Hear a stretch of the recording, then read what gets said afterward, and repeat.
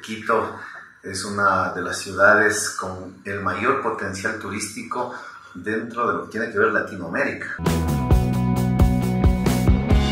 Está sumida en basura, en grafitis vandálicos, en delincuencia, en problemas de inseguridad, con la falta de generación de empleo, con una movilidad caótica. Lo, lo malo es que ha faltado un liderazgo